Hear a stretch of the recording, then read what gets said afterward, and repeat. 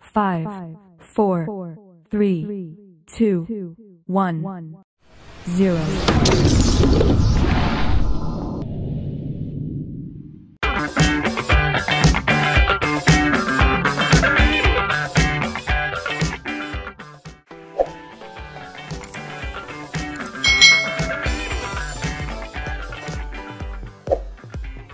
Hai hai hai. Selamat datang di channel youtube Kak Citra. Apa kabar nih adik-adik semuanya? Kak Citra berharap kalian dalam keadaan yang baik, sehat, dan siap untuk belajar ya. Hari ini kita akan belajar bersama-sama untuk mata pelajaran tematik kelas 4 kita belajar di tema 4 berbagai pekerjaan, subtema 1 jenis-jenis pekerjaan, pembelajaran yang ketiga. Mari adik-adik kita belajar dengan penuh semangat. Warisan budaya Indonesia yang dikenal dunia tidak hanya batik adik-adik.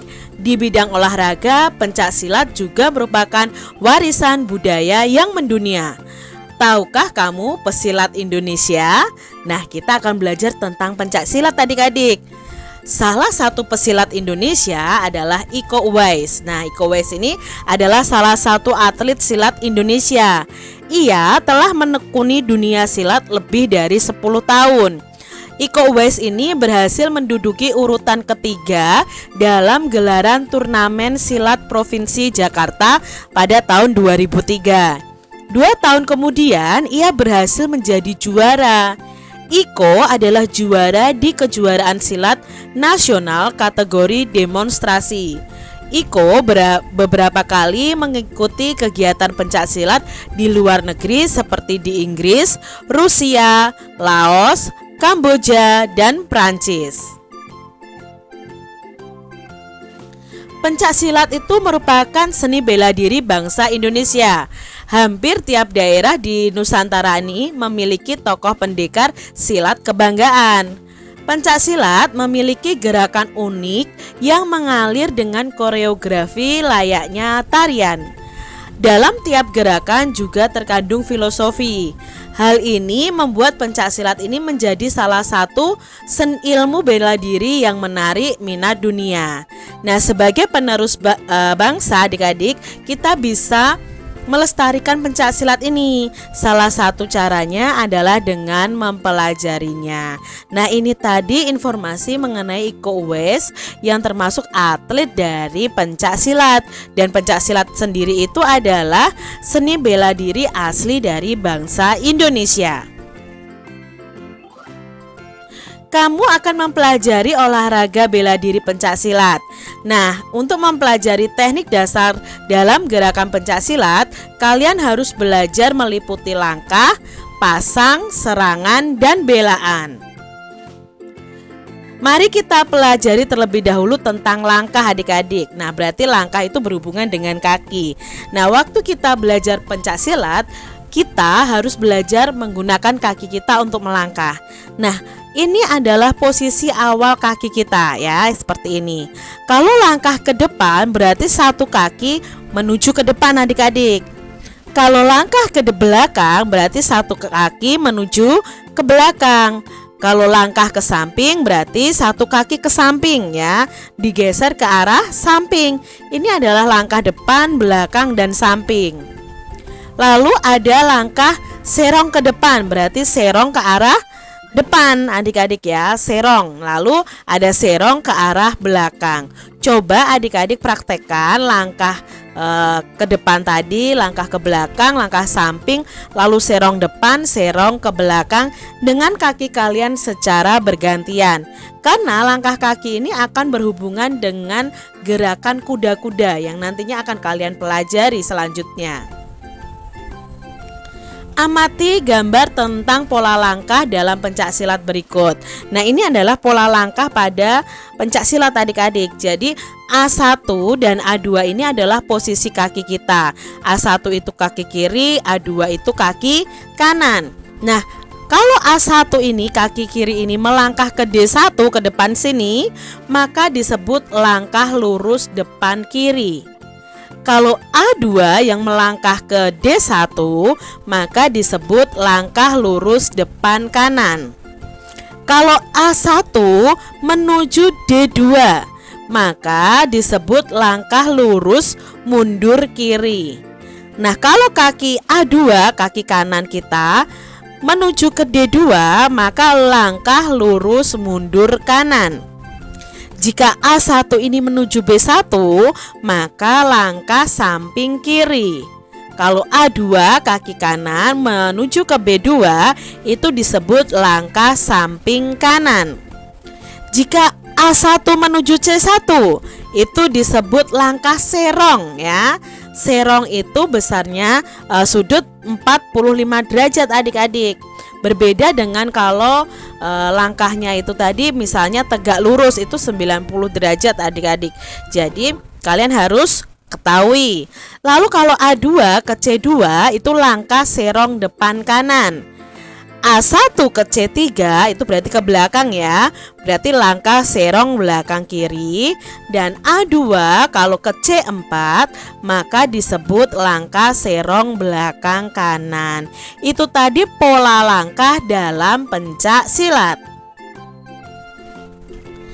Kemarin kamu sudah belajar tentang pentingnya bekerja pada pembelajaran sebelumnya. Nah, hari ini kita akan membaca cerita tentang semut dan belalang.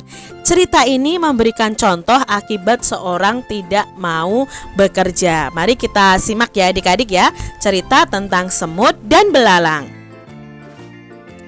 Semut dan belalang. Di tengah hutan hiduplah seekor semut yang sangat rajin. Setiap hari semut itu selalu bekerja mengumpulkan makanan dan menyimpannya di dalam lumbung.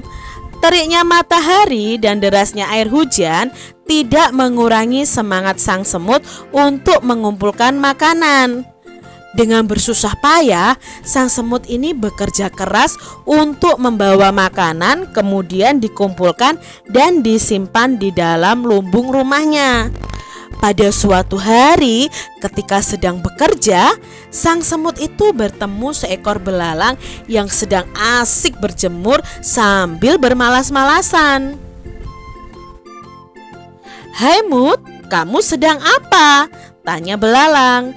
"Aku sedang mengumpulkan makanan untuk persiapan musim dingin," jawab semut. "Ah, buat apa kamu melakukannya sekarang?" Musim dingin masih lama. Lebih baik kita bermalas-malasan dahulu, kata belalang lagi. Sang semut tidak memedulikan belalang. Ia tetap bekerja mengumpulkan makanan yang dijumpainya. Demikianlah sepanjang hari sang semut sibuk bekerja, sementara sang belalang bermalas-malasan. Akhirnya musim dingin tiba adik-adik. Sang semut yang rajin itu duduk dengan nyaman di rumahnya yang hangat. Ia menikmati makanannya yang berlimpah. Sedangkan belalang termenung sedih di rumahnya karena tidak memiliki makanan sedikit pun. Saat belalang hampir mati kelaparan, sang semut datang dan memberinya makanan. Sejak saat itu adik-adik, sang belalang rajin bekerja mengumpulkan makanan seperti sang semut. Itu tadi cerita tentang semut dan belalang. Diambil dari anaknusantara.com.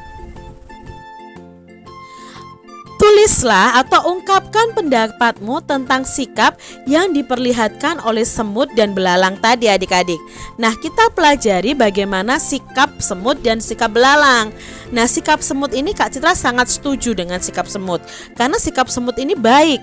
Setiap hari semut ini selalu bekerja mengumpulkan makanan dan menyimpannya di dalam lumbung untuk persiapan musim dingin. Dia juga mau berbagi dengan belalang. Sedangkan untuk sikapnya belalang, Kak Citra tidak setuju adik-adik dengan sikap belalang.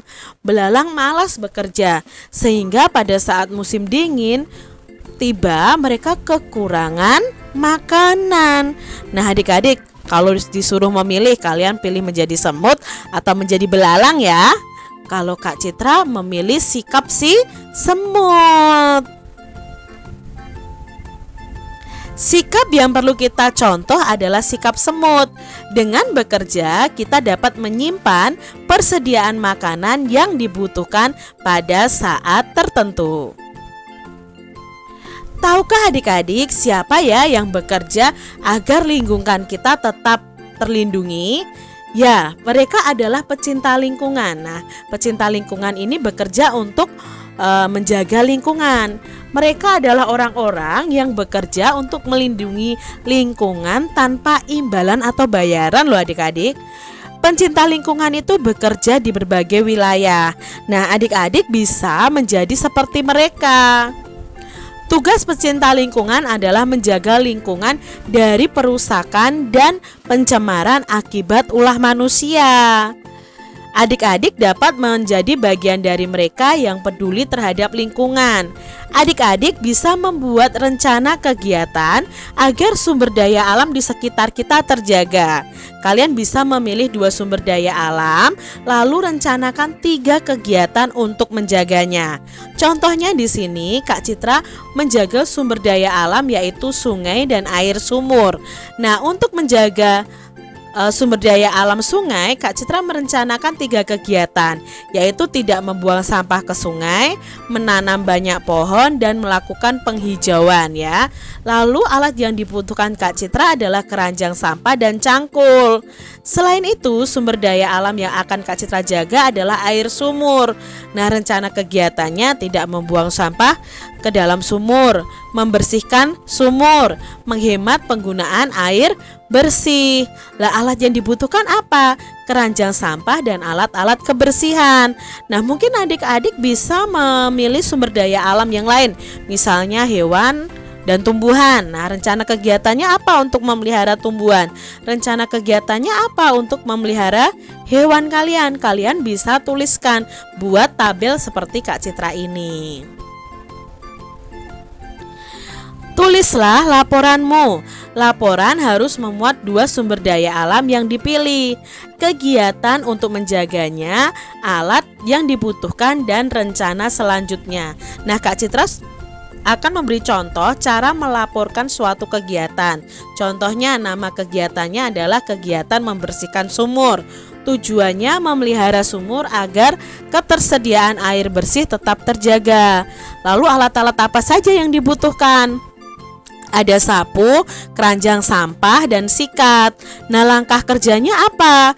Persiapkan terlebih dahulu alat-alat yang dibutuhkan, ya, seperti keranjang sampah, sapu, dan sikat. Lalu bersihkan bagian sumur yang di yang dapat dijangkau dengan mudah misalnya bagian lingkaran sumur. Kalau bagian dalam jangan ya adik-adik ya itu khusus untuk eh, orang-orang uh, yang bisa membersihkan sumur. Bersihkan tumbuhan seperti lumut atau tumbuhan lainnya pada bagian luar sumur. Lalu bersihkan bagian bak mandi menggunakan sikat sampai bersih. Nah, rencana lanjutannya apa? Ya, membersihkan sumur dilakukan rutin setiap bulannya bersama anggota keluarga yang lain. Ini tadi contoh dari uh, laporan yang kegiatannya kita lakukan. Begitu adik-adik.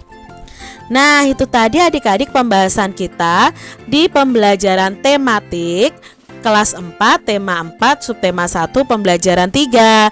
Semoga video pembelajaran ini bermanfaat ya untuk adik-adik semuanya dan sampai jumpa lagi di video pembelajaran Kak Citra selanjutnya. Tuhan memberkati. Jangan lupa tekan tombol subscribe, lalu tekan loncengnya, tekan juga tombol like, lalu share ke media sosial kalian. Jangan lupa untuk ikuti media sosial Kak Citra. Terima kasih.